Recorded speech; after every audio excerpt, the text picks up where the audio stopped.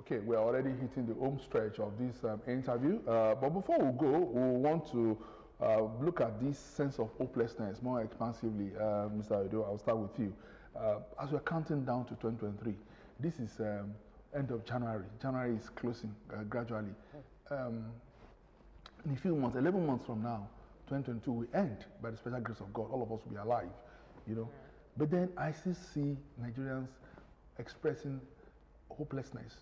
You know, um, I, I sit down, you know, in some places and I listen to Nigerians, and um, all they say is that we don't even know um, who will become the next Kinikon, who will become the next this and that. And um, I mean, what do what do Nigerians have to do, you know, to really get involved and to really be a determining factor in who rules them next? Not only as uh, president, not only as state governor, but chairman, local government, councillor, local government.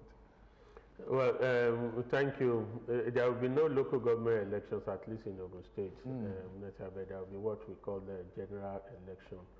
Um, and the way local government is structured today, believe it, anybody who holds the office is significant. Um, is only there, you are only there to add to your CV. I was once um, and then you begin to wear the appellation honorable, mm. honorable Biodun Alabi, and um, all this one. So that, that's not the question I really want to uh, discuss, whether it's uh, politically correct or not. But for the most significant elections, I think it is wrong for anybody. Yes, we are hopeless. Uh, we seem hopeless. Mm. Seems hopeless because um, it is not true.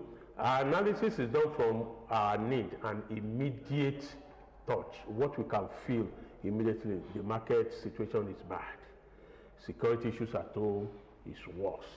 So that creates that hopelessness. But in real fact, in reality, to the choice we have to pick the election, we are not hopeless. And it's a mistake if anybody did not get involved right now to begin to look at who I want to vote for. This is the right time to begin to do that. Listen to all the arguments. And use it to formulate your own position and opinion. You can't sit down and say, I don't know who to pick among all of them. Um, electioneering will start early. I'm sure by the time we get um, beyond Easter, uh, which will be March or April, I'm not sure, full blown. April. Because INEC expects, that's why they are bothered about uh, the issue about um, the Electoral Act to sign or not so that they can get into place. They expect by, by August, political parties should start turning in the names of their candidates. candidates. And if that is happening, it means political parties will have to do the so-called primaries early. Yeah. So it's going to start early. They have said there will be general election in February 2023, which is less than 13 months uh, to come. You understand? So you should begin to have an idea of the kind of person. For instance, I sit there, I say to people, we have a dozen or more names proper from the southwest, Yoruba, who wants to be president. And I said to myself, all of them, there's none who becomes the president of Nigeria that will not do better than what we have. Hmm. I'm sure of that. I can see that. That's the position I've seen. And I'm just, that's why I talk about think tank, those who watch things for us, mm. dust it, clean it, and present it to us with their facts. And then we now just choose. Out of Simia, Dele, uh, Folakemi, and Biodun, then we now know who to take among the parents. So I already formulated, I already look at all of them. None of them, out of the dozen of the names being taunted from the southwest, that will not do better than the situation we have today. That's the starting point. And I begin to streamline it. Streamline it. What about the, what about, I, I, have, um, I, have, I have a challenge with um, leadership that comes from the presidency um, down to the um, uh, to the state level and that is the leadership that's provided by the National Assembly. We know that um, there could be a very a big stumbling block for whoever is Mr. President. I mean, that, and that's the point you're trying. You are trying. The point you have actually um, uh, made is that uh, from from the field, the names that we have, you know, those from this side of the country, they are going to do a good job. But are you also, you know, factoring in the, the National, National Assembly? Assembly? You have to look at the population, the characters that are in the National Assembly? Uh, uh, again, that's very interesting. You see, the way the National Assembly is built in terms of those who goes in there, mm. that's why even in the North or here, and that's why the North are doing very, very, very better than us. People, we don't understand a lot of things. We just sit down in our cocoon and begin to think we are more sophisticated than any other person. There's nobody, for instance, in the Southwest, who spent four consecutive years. By the time you are going on your second three, wọ́n ti bẹ̀rẹ̀ sí kùn, ṣòun nìkan ni, ẹ̀bí ẹ̀ nìkan ni. Up there, we have people who've been in the National Assembly since 1999. They've moved from House of Representatives to Senate. They've stayed in there and they built that experience. They built that politicking because when you get into the National Assembly, you are beginning to learn how to swim in the Atlantic, in the ocean, not in the River Ogun or River Yo or any other river that you are used to. So you need that tactics, you need that tactics, which they've done very well. So They're talking there. about, you know, what they've done very well, is it that um, one would look at it from what transpires, you know, at the National Assembly level, or uh, the end result of how their people are better governed in the state? Well, uh, if you look at end result of Broadband, again, there is a history. Um, Nigeria, that's why I said, is a peculiar place. That's why I don't like us copying from the best of the democracy and say we paste in Nigeria. Here, with due respect to the paramount rulers, the paramount rulers know are bound with you. It's only Gbese there. In the north, they can still do it and go away with it. You can never tell. Well, it will be hard for people Yeah, un- un- unless you have. a walkover. like that. Exactly, it's, it's, it's not going to be as easy, As easy as it it will be would done here Oh, okay. than there. Look at the question of the one we call child marriage or early marriage. It's a culture. It's that it's not age that determines whether you are right as a hmm. woman there. So those differences, we must know it. You understand? I laugh at us. What in their government across the 19 northern states, okay, maybe let me remove two that I don't usually consider as northern states, Kogi, Kwara. Every other northern states, in terms of agriculture, oof, they're doing excellently well for their farmers directly. They may not care about road. They may not care about education. Telecoms. You don't understand? care about telecom. Their people are not even bothered about it.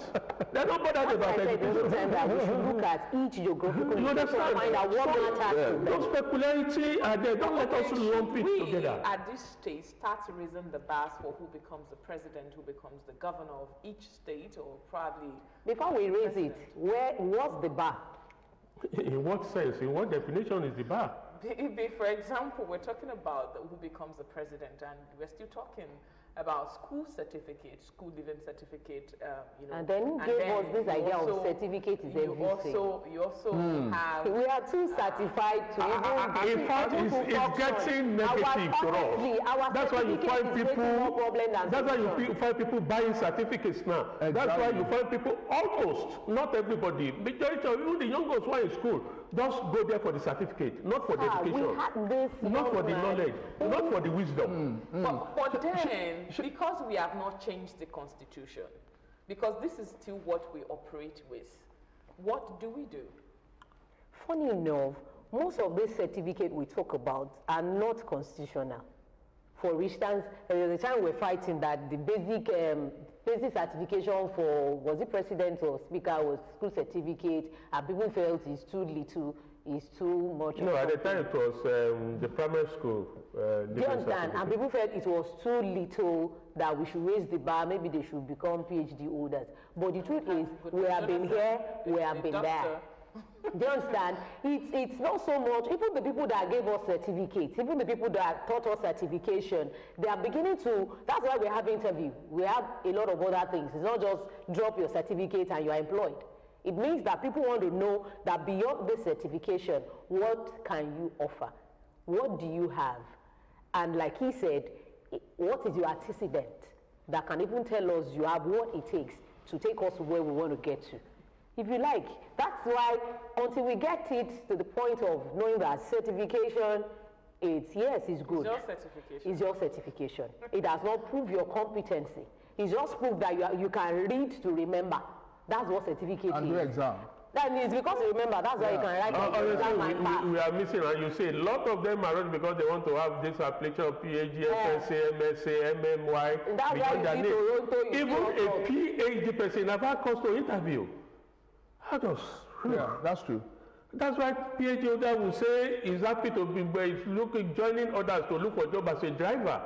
Honestly, It, it, it, it, it's, it's, it, also is simple. We once had a PhD as our president, and to quote Femi Fani-Fakayode, that era was an era of a sheep leading an army of lion.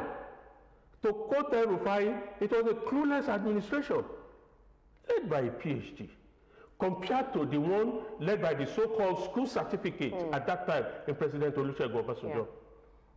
You understand? so I don't think it's about that. But people I- I- different, I- yeah. along the line, also Obasanjo. Obasanjo went to school. acquired, but at the time Acquired, he he became our president. At the time, yeah, today is a PhD. At the a- time, but at the he, time he acquired- he acquired our president, our, uh, become our president. So That's for what me, I'm it, it, it should be a balance between certification and competence. Oh, that's- It uh, should be a balance in it between is more of the certification and character. Be- If you are competent, you will be certificated. I, I, I think we are taking it to, we have taken this to a, a, another level completely because even in, in the academia, in our schools, um, are we teaching the right qualities of leadership uh, in the schools? Because um, it's all about um, certification. I, I mean, as we have said, our, our teachers, Yes, even uh, representative, are, are they good models? Well, I, I, I, I don't think we, I don't think we can actually go further um, because uh, we, our next guest is in the house and uh, it's something quite germane. We'll be talking about COVID-19 tests, uh, vaccination in our schools in Ogun State, and so uh, we'll have to allow um, our guest to go, uh, Mrs. Uh, Folakemi Otulano. Thank you so much for your brilliant contributions on the program this to be morning. Thank you so much, uh, Mr. Adele, as usual. Um, media practitioner. Thank you so much for your contributions too. It's always nice Thank you so much. You. When we return, we'll be talking about, as I said, uh, there's something Ogun State government wants to do, and that's um, uh, what's it called? The, the storming the schools, storming operations, campus storm to vaccinate 400,000 students against COVID-19.